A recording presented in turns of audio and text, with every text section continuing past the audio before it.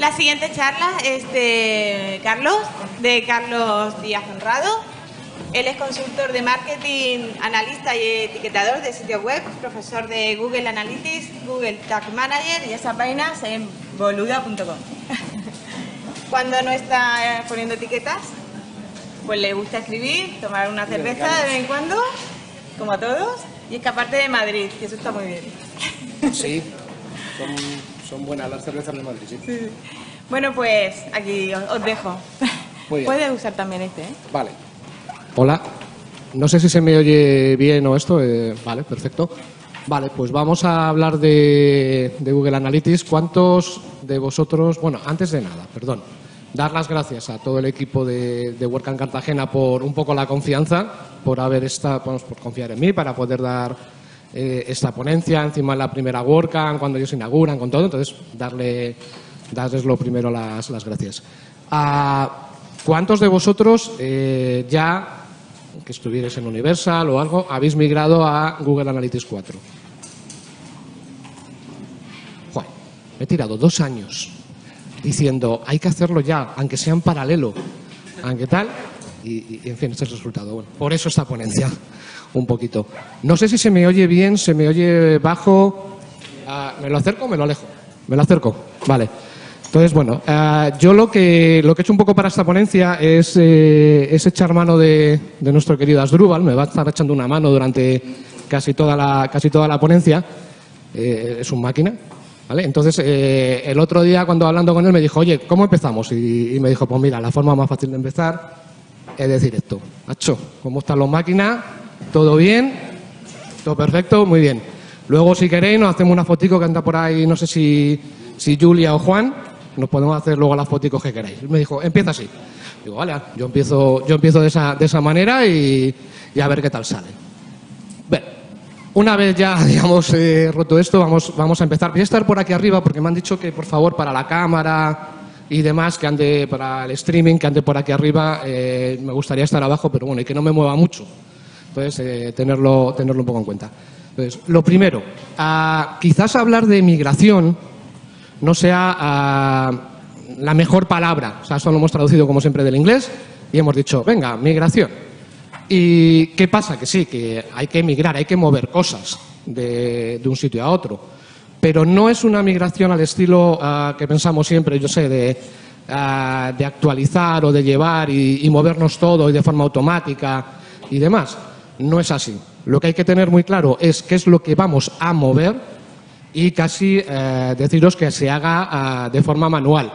Es decir, hay automatismos, habrá salido el mensajito, habréis visto el clásico mensaje, ahora dirá que quedan 20 días o algo así. Habré recibido mails de Google diciendo migra, migra, migra, migra, migra. Vale, muy bien, pero mmm, al final ya os digo, todo lo que sea de forma automática o conectar, de verdad, descartarlo, no lo, no lo hagáis.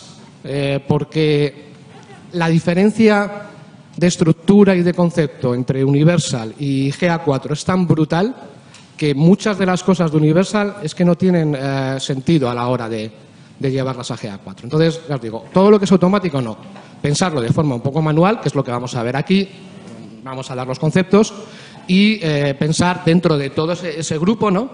A qué es lo que tenéis que migrar. Tenéis que migrar audiencias, e-commerce, usuarios, evidentemente, sí o no. A, tenéis que, sobre todo, migrar eventos, porque, o sea, esto es lo importante, quedaros con esta palabra, GA4 es evento. Son interacciones. Cualquier cosa que ocurra dentro de la web, para GA4 debe de ser un evento. Que hacen scroll, que hacen clic, cualquier cosa va a ser un evento. Incluso que alguien visita tres páginas y entonces yo quiero saber que ha visitado tres páginas, lo meto en una audiencia, pues el meterlo dentro de la audiencia va a ser un evento. Siempre. Entonces, eso tenerlo, o sea, tenéis que ir, digamos, cambiando el chip de lo que era en su momento eh, Universal a que en GA4 esto cómo me lo llevo a un evento. Y a partir de ahí será cuando podréis un poco empezar a, mover, a mover esas cosas. Y decía que el concepto de migración es algo que, ya digo, a mí, a como palabra no me gusta. ¿Por qué? Porque entre otras cosas, y esto creo que nos lo, nos lo contará ahora un poquito Asdrúbal, los datos no se van a poder migrar.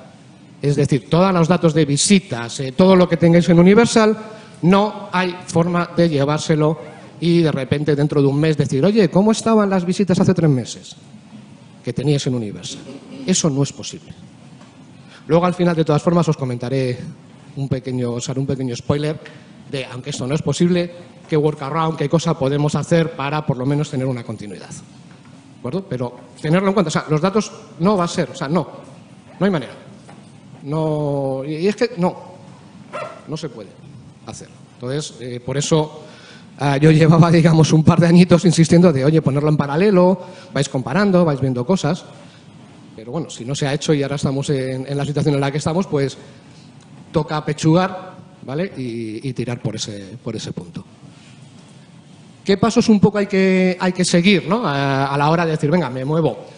Estoy pensando en, digamos, en propiedades, en webs no muy complicadas y en algunas que sean un poco más complejas y demás. Pero bueno, siempre los pasos van a ser los mismos. Pues todo eso, todo eso que tenéis ahí, que es bastante, bastante largo. Gracias a Dios, el paso K, ¿vale? Yo, yo no lo voy a nombrar. El K, o sea, el de verificar los datos, es decir, comparar los datos de Universal contra los datos de GA4 en 20 días nos va a dar lo mismo porque ya no va a haber nuevos datos. O sea, el día 1 de julio, curioso, a las 9 de la mañana va a ocurrir. Si echáis cuenta, la, si miráis la cuenta atrás, a las 9 de la mañana, porque es horario del Pacífico, eh, Universal va a dejar de recoger datos. Entonces ya no vas a poder, o sea, si decís, oye, voy a comprar en agosto los datos que, te, me da Universal con los datos que me da, eh, que me da GA4. No, eso ya no va a ser posible. Porque ya no va a haber datos de agosto. O de julio, vamos, eh, a partir del 1 de julio. Entonces ahí lo tenéis. No, ya digo, yo no voy a empezar a hablar de todos, ni vamos a empezar a, a eso, pero bueno, ahí tenéis un poquito, um, eh, pues un poco cómo habría que hacerlo. Uh, creo recordar que al final eh, hay una serie de, QRs y enlaces que también os quedarán, en la cual, aparte de información de algún post, os dejo alguna, alguna checklist en, en Excel para que podáis verlo todo esto detallado y podáis seguirlo y adaptarlo a vuestra, a vuestra web. O sea, si no tenéis comercio electrónico, no hay que hacer seguimiento de comercio electrónico, evidentemente, ¿no? Pero bueno, tenéis, eh, tenéis, vais a tener al final recursos para que lo podáis un poquito seguir y que no se quede solo en, ver, digamos, esto, esta slide. Y el problema es este, que apenas hay tiempo, ¿vale? O sea, que nos quedan 20 días. Entonces, claro, todo esto, el tratar de hacerlo eh, en una web compleja, no, no, llegáis. O sea, en 20 días o dediquéis 20 días sin dormir a, hacer esto o no vais a llegar si la web es compleja, ¿vale? O sea, si es una web que me dices, es un blog con, con los posts, dos formularios, pues bueno, sí, eso sí, sí se podría llegar a, vamos, sí va a poder llegar a hacer en 20 días, pero como tengáis un e-commerce, yo os digo ya que no llegáis a todo esto. Entonces, una versión un poco reducida, ¿vale? Podría ser esta. En vez de todos los pasos que teníamos, decir, oye, pues venga, preparamos eh, el flujo, que es la parte principal, es lo que nos va a dar el identificador y nos va a permitir medir. A, a ver, Asdrúbal, te has adelantado. Planificamos y vemos qué eventos son los que queremos crear o mover de un sitio a otro. ¿De acuerdo? Vemos eh, lo que se llama en Universal Goals, En Analytics son conversiones, que básicamente son eventos importantes para nosotros, o sea, vamos a tener que llevar lo que es un Goal, imaginaros en Universal que tenemos creado, un, eh, han completado el formulario, han hecho la compra, eh, lo que sea, lo vamos a tener que llevar a un evento dentro de GA4 y marcarlo como conversión. No va a tener, no va a tener mucho más misterio. Si tenemos e-commerce, tendremos que preparar el tracking de e-commerce. La verdad que en GA4 está muy bien, eh, conceptualizado porque lo han unificado. O sea, el problema anteriormente con, con, Universal es que sí, vale, había más o menos unas reglas, pero tú puedes llamarla a los eventos como querías, a los pasos como querías, eh, cada uno según el plugin lo llamaba de una forma y entonces al final era un jaleo. Aquí es todo como muy estándar, tienes que seguir esos pasos y es sota, caballo y rey. Entonces, eh, la verdad que a mí me sorprendió mucho cuando lo vi y sinceramente fue cuando empecé a entender cómo hacer el tracking de e-commerce con GA4. O sea, con, Universal era un poco caótico. Y luego, bueno, pues hay que tener en cuenta el tema de, de privacidad, evidentemente, RGPD, todas las cosas, ahí podríamos discutir mucho. Y si tenemos que hacer integraciones uh, con Google Search Console, con Google Ads para compartir datos y una integración muy potente que hay ahora, que es con esto que pone de BQ, que es BigQuery, que lo que nos va a permitir es sacar los datos a una base de datos eh, basada en SQL y a partir de ahí tener los datos en bruto para poder hacer informes. Esto antes era de pago, ahora es gratuito. Ah, hay que controlar un poco de SQL, hay que pagar un poquito a Google porque esos están servidores de Google, pero, pero poquito. O sea, no, no, no, os penséis que esto va a suponer que, nos, vamos, que no, digamos que nos limpian la cartera puede estar potente a la hora de poder eh, hacer luego informes y analizar la información, porque hay por ahí cosas todavía que están un poco en, los informes raras, eh, que no saca toda la información según los casos y demás, entonces ahí vamos a tener la información en bruto, lo cual es, interesante. Yo os diría, a ver, eh, no en el primer momento, pero si, si vais con tiempo y tenéis web, web un poco complejas, pues que empecéis un poquito a, revisar todo el tema de, de BigQuery un poquito y aprender sobre esto. Eh, ahora, ahora sí, vamos a ver cómo hacerlo. Bien, esto va en plan un poco pasos a partir de ahora, ¿vale? Lo primero, eh, desde la parte de administración creamos la, propiedad. Eh, estáis acostumbrados y sabéis que Google Analytics tiene cuenta, propiedades. En Universal tenía, tenía vistas, las vistas desaparecen, no hay nada que lo sustituya. ¿vale? Ahora, cuando hablemos del flujo, diré por qué.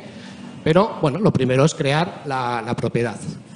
Y básicamente es un poco eso, ¿veis? Desde ahí, desde el paso de, propiedad, nos vamos arriba, le damos a ese botoncito. Ya os digo, olvidaros, cuando estéis aquí o cuando veáis y tal, olvidaros de automatismos. No, hay, no, no son buenos en este caso. Igual que comentaban, por ejemplo, antes con el SEO, que los automatismos a veces no son del todo fiables, aquí no son nada buenos. Entonces, olvidaros, hacerlo a mano. A, en cuanto le damos, nos va a soltar cuatro, no es un asistente, es realmente cuatro pantallas en las cuales vamos a ir metiendo información. Lo han, hecho de esta forma, de la misma forma que antes estaba todo más o menos en un sitio. El primero es muy sencillo y es a poner el nombre de la propiedad, la zona en la que, en la que vamos a estar, el tipo de moneda y bueno, eso de ahí abajo que se ve eh, un poquito en rojo eh, es porque antes, bueno, y todavía nos permite crear una propiedad universal. Entonces ahora ya es como de, ¿para qué? ¿Para qué quiero una propiedad universal? Entonces por eso, por eso aparece en rojo. Pero vamos, ese es el primer paso. El segundo es un poco estadístico, nos pide que le digamos el número de empleados, el sector, pero para comparar, creo que como mínimo hay que completar el número de empleados, porque si no, no te deja pasar al siguiente, pero no sirve realmente para, gran cosa. O sea, no, no tiene tal. Le damos y tal. Este tercero, eh, hace poco yo discutía, vamos, discutía, hablaba, hablaba con Pablo Moratinos en Twitter porque publicó de Google ha sacado ahora esto, y lo decía hace esta semana pasada como novedad.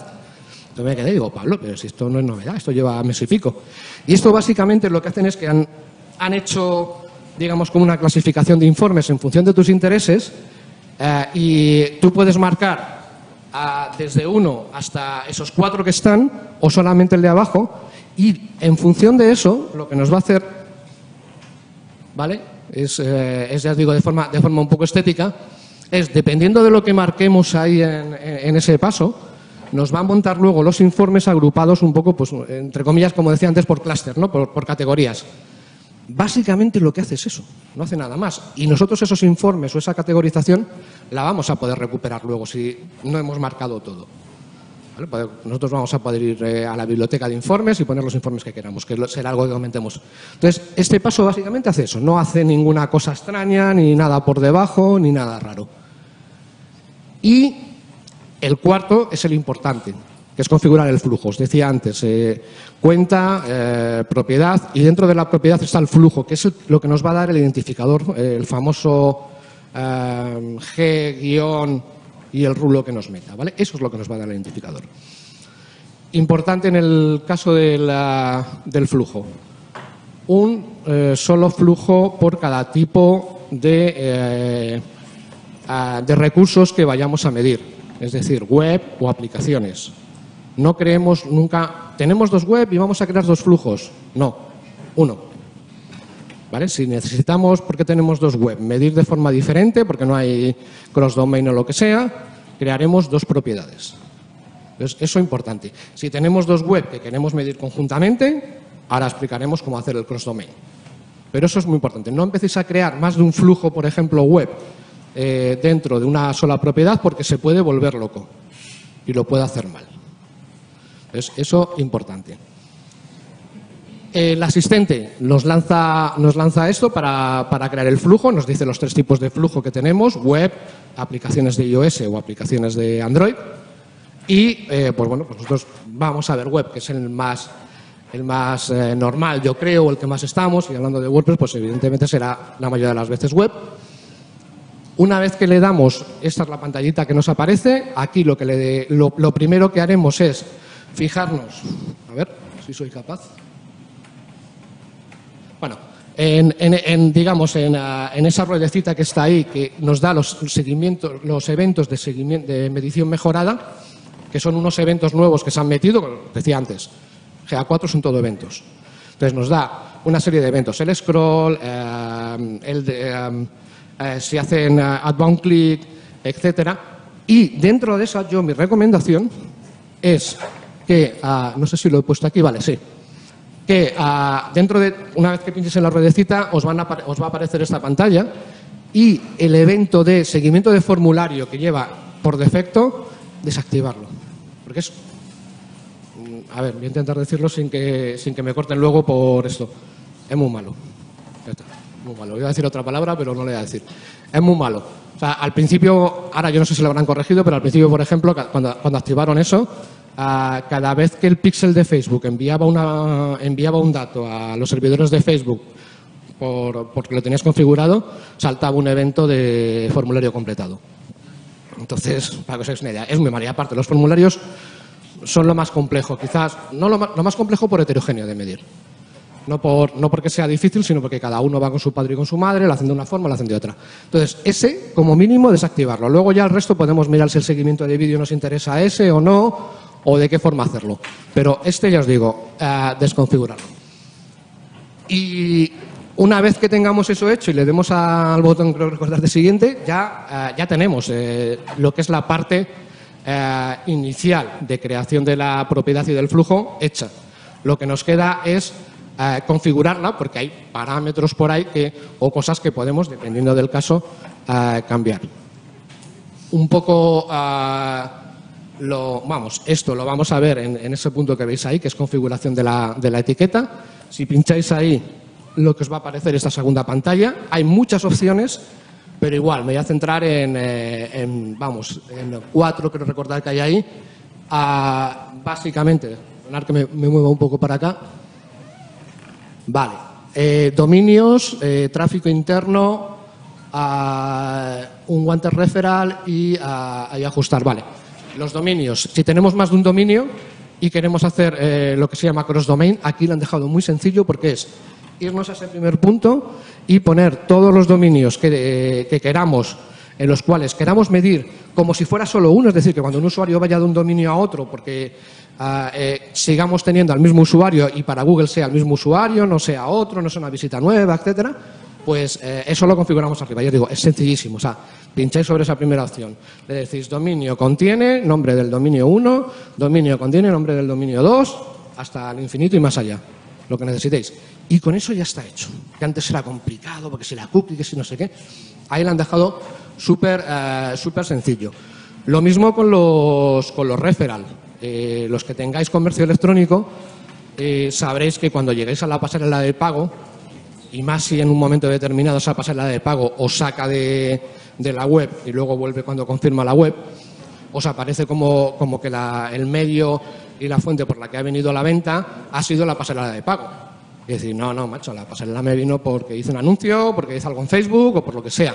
Entonces, entrando en esa parte, digamos, de, de referrals, podéis, podéis excluir, decirle, oye, PayPal no es un referral. Y entonces, al final, la sesión la mantiene, la guarda y te dice la venta ha venido porque ha habido un anuncio o por lo que sea, no porque ha estado en PayPal. Entonces, eso, eso también. La otra que os decía, no me acuerdo, el, ah, vale, sí, el tráfico interno. No está muy bien, no está muy bien definido y no, está tan potente como estaba antes los filtros, pero bueno, os permite tanto decir que el tráfico de, la, de, de vuestra oficina como el tráfico de desarrolladores lo excluya. Y lo podéis hacer por IP o lo podéis hacer por, algún parámetro que le, que podéis meter. Y el tiempo de ajustar los tiempos de sesión sería tanto para a, lo que es eh, cuánto tiempo dejáis que haya una sesión inactiva, lo de antes, ¿vale? Lo, de, lo mismo que en, Universal. Ah, antes de que la sesión la cierre, Universal y empieza a contar como una nueva sesión.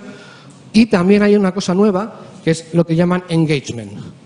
Es decir, cuánto el usuario está, uh, lo tenemos enganchado, es un usuario de los que molan. Entonces, por defecto el engagement, eso se configura también ahí en la, en la última opción, es de 10 segundos. Es muy poco. O sea, eso quiere decir que a los 10 segundos de, haber entrado un usuario, para Google es un usuario ya, eh, digamos, molón. Dices, bueno, no. A ver, 10 segundos quizás va a ser poco. Dale un poquito más, dale 40, dale 50. ¿Vale? Entonces, ahí es donde se puede configurar de los 10 para, para arriba. Y con eso, como dice, como dice Asdrúbal, ya casi tenemos creada la, eh, la propiedad. O, casi, también dice, ¿no? Hay, eh, hay cosas como, vale, decirle a todos esos, estos mensajes que nos aparecen que no, que no, que no, que nos quiten, o sea, déjame ya Google, tranquilo, de verdad, no me mandes.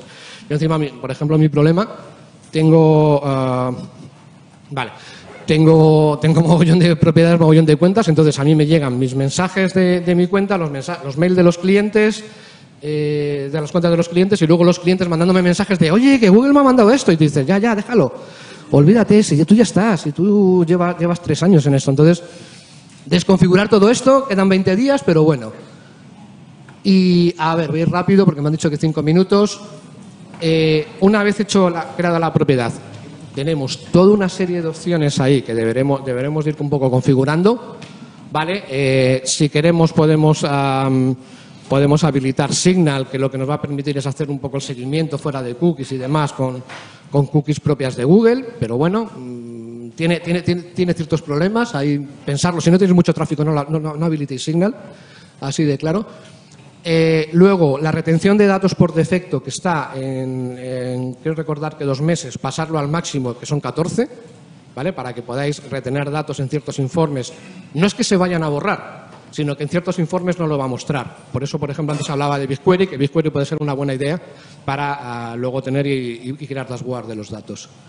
Ah, toda, la, toda la parte de un poco de... Ah, esto era, joder, perdonad. vale, de los filtros de datos que comentábamos antes, lo de, lo de poder filtrar eh, las IPs de desarrolladores y demás, aquí habría que activarlo. O sea, por un lado lo configuras y aquí lo activas y esto que han añadido nuevo es la agrupación de canales, es decir, social, que es pues lo de Facebook, lo de no sé qué, lo de no sé cuánto. Bueno, aquí lo podemos editar, esto lo han añadido hace poco, y lo que podemos hacer es añadir o modificar eh, alguno de los, de los valores que hay o añadir una, unos parámetros o, una, o un nuevo, digamos, una nueva agrupación. Y como dice aquí nuestro amigo Asdrúbal, lo último que nos quedaría sería vincular con productos externos. Es la parte de abajo es eh, toda la parte del final y es un poco lo que os comentaba.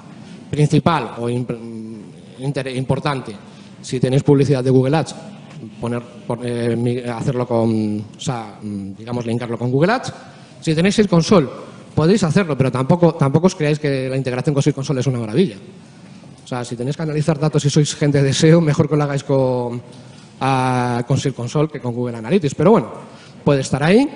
Eh, BigQuery tenerlo en cuenta y luego ya el resto de productos, pues un poco en función de, lo que ya son sobre todo productos de Google, productos de terceros, ahí hay que ver cómo, cómo integrarlos o cómo linkarlos. Y estamos en un evento de WordPress, hay que hablar de, WordPress. Yo aquí soy muy, soy muy radical. A, mí la forma de integrar el otro... Ayer le eché la bronca a Jaime, que se ha ido. Seguro que sabía que iba, que iba a decirlo y se ha marchado eh, yo, la forma de integrar uh, Analytics dentro de una web en WordPress es, yo lo hago siempre con un MU plugin, es decir, un pequeño, un pequeño plugin. Tendréis por ahí también, supongo, en algún momento el enlace para poderlo descargar. Un plugin que metes que se carga de lo primero y eh, que te olvidas de, de estar instalando nada, de estar haciendo nada, de tocar el header, nada de eso.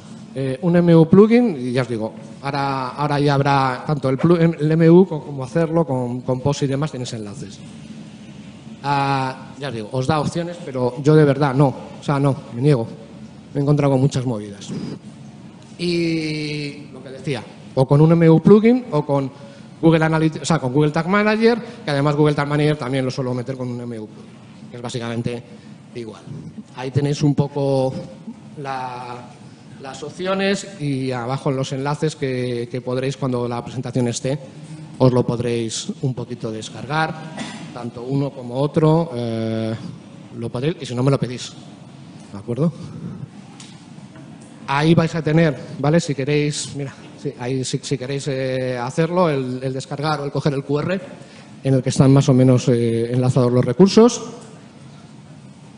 Y decía, más, alta la advertencia nuestro amigo Asdrúbal. Al principio decía, los datos no se pueden importar, los datos no, no vamos a tener manera de, tenerlos, eh, pero oye, quiero ver una continuidad. Entonces, esto si puedes, por favor, el, el, el- el darle al enlace, porque yo no tengo interacción sobre esto. Está compartido, es público, ¿de acuerdo? Eh, y esto explicaré, explicaré cómo hacerlo, si me lo cogen, esto es spoiler, ¿vale? En un taller en Pontevedra, o sea, que venís a Pontevedra y, y aquí explico cómo hacer esto. Y si no, pues cuando lo, cuando lo grabas, un taller de 10 minutos. Vale, básicamente, ¿qué es esto? Esto es un looker en el cual he conectado eh, Universal. De momento, de momento Universal con el conector. En un futuro lo haré directamente descargándome los datos en un, en un SID. ¿De acuerdo? Eh, Universal, las páginas vista, GA4, las, las páginas vista, y lo que he hecho ha sido generar una, una tercera tabla eh, uniendo los datos y a partir de... ¿Puedes eh, subir un poquito para que se vea el gráfico, por favor? Vale. Los datos en gris son los datos, en este caso, de visitas de Universal y los datos en rojo son los datos de visitas de GA4. Entonces, está todo montado para, para poder más o menos tener una, una- una idea de las cosas importantes que, que, podemos, eh, que podemos un poquito eh, medir y podemos tener interés si no hemos tenido la, la cosa de decir, oye, meto, meto GA4 con tiempo. Ah, vale, esto, si puedes ahora ya, por favor, me vuelves a cambiar a la presentación. Esto ya os digo, explicaré cómo hacerlo. Es muy sencillo, ¿vale? Pero explicaré cómo hacerlo, así, así además os animo a que vengáis a Pontevedra. Los chicos de Pontevedra les estoy metiendo presión para que me cojan la- el taller y, y demás. Y nada más, este soy yo. Daros las gracias. Yo no sé si me he vuelto a ir. Bueno, he ido justo, con lo cual preguntas no va a haber. Me temo. He ido justo. Si hay preguntas, hay preguntas. Si no, lo que tú digas. Ah, ¿Hay alguna pregunta? Y ahora me tengo, me tengo que poner en plan aquí eh, que voy a dar un meeting o algo así, ¿no? Como si fuera a dar un meeting. Falta, falta aquí algo. Falta aquí algo para agarrarse, porque últimamente no te has dado cuenta que les ponen como para agarrarse ahí como.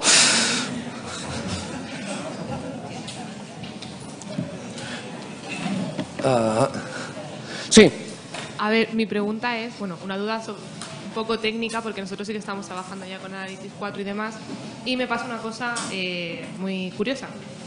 Y es que yo creo la- las conversiones, ¿no? Eh, voy a Tag Manager, en Tag Manager hago la vista previa para ver si las conversiones están saltando correctamente, luego me voy a Analytics eh, para ver en tiempo real si me está cogiendo la conversión y todo está correcto, pero cuando se hace la conversión con un lead que ha entrado en la web, no me marca la conversión. en el, en el mismo momento y. o. En- ni en el mismo momento ni posterior. O sea, Tampoco, tampoco con el debug. No, solo me está recogiendo lo- las pruebas que yo estoy haciendo con Tag Manager. Vale, pregunta. eh, una, vez, una vez que has hecho la, la etiqueta en Tag Manager, luego publicas. Sí, sí. Espero. Sí, sí, sí. Vale, es que, es que ha habido gente que me ha dicho eso y digo, ¿la has publicado? Ah, no. Entonces, eh, vale. Todo publicado y todo. O sea, publico cuando ya todo está bien, lo publico. Vale. Eh, habría- tendría que ver el caso, pero vamos, eh, a ver, en los informes, digamos, eh, normales, a los informes que tú, que tú creas, va a, tardar, va a tardar 24 48 horas en aparecer. En tiempo real, mm, lo puedes ver, puede haber un pequeño delay de, de minutos en algún momento, Sí. y luego está el debug view, ah, que en el debug view sí que te va a aparecer. El debug view es como es una parte que está en la configuración al final del todo, antes de, antes de las vinculaciones, que tú puedes ir viendo como en tiempo real y en modo debug, teniendo activado en Tag Manager la vista previa, por ejemplo, tú vas viendo como, como un recorrido que te va soltando todos los eventos que estás recibiendo. No, no, nada. O sea, y incluso me espero, pues eso, varios días en que entra la conversión. eh, miro No. en el CRM si ha entrado una conversión y luego lo, lo miro con Analytics para ver si la ha recogido y no está recogida. A no ser que yo haga la prueba con Tag Manager. Es solo, solo me salta cuando yo hago la prueba con Tag Manager y me la recoge al día siguiente está ahí la conversión. O sea, si le haces Contact Manager, eh, sí. Solo, solo me pasa con X. Contact Manager y, y vista previa. Sí, y además solo me pasa con algunos con algunas conversiones, porque con otras me las está recogiendo perfectamente. Y es todo la misma web. Tendría que verlo el caso concreto. ¿Vale? Si quieres luego lo comentamos y de alguna forma entre semana pues eh, buscamos un huequito y lo miramos. Tendría que ver el caso concreto eh, para ver qué parte puede estar faltando ahí. Vale, perfecto, gracias. Vale, lo siento. Gracias. Ah, dime tú. ¿Alguna pregunta? Todo. He sido tan bueno que lo he dejado tan claro que, madre mía. Madre mía. Estoy impresionado conmigo mismo. Pues nada, muchas gracias a los que os habéis quedado aquí nos habéis ido corriendo. Supongo que será porque vais a ver el siguiente ponente y ya está. Te dejo, te dejo con él.